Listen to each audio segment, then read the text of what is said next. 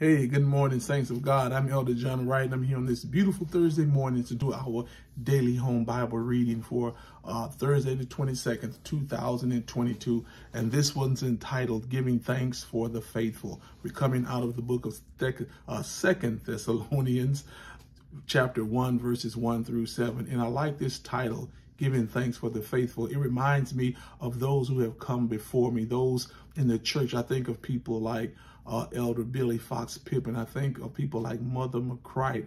I think of those type of people that have come, gone before us. And we thank God for their faithfulness, how we can recall conversations uh, with them, how they trained us up, how they taught us to be faithful. I can hear Elder uh, Elder Pippins right now talking to me Elder John Wright, you just remain faithful and God will reward you for your faithfulness.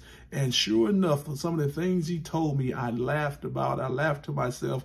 Elder Pippins, that'll never happen. But everything he said uh, came to pass. So I'm just reminded that we must maintain our level of faithfulness, that we must give thanks for those who came before us, those that were faithful, those that, that are at church every Sunday who you can count on. When you see them, they make you smile. And the Bible says that they in, in the uh, Old Testament, God was known as the what? The faithful God. So this is the characteristics that we should uh, uh, uh, take on from God, that we should be faithful, faithful to our family, faithful to our spouses. Amen. We should give thanks to those who have been faithful in hard times when you know they were going through something, but yet they smiled, yet they uh, they, they mustered up the strength to smile and even and comfort you when they were going through. So we thank God for those people that maintain uh, that level of faithfulness. I sure give thanks to God for those that remain faithful. Hey, have a blessed day.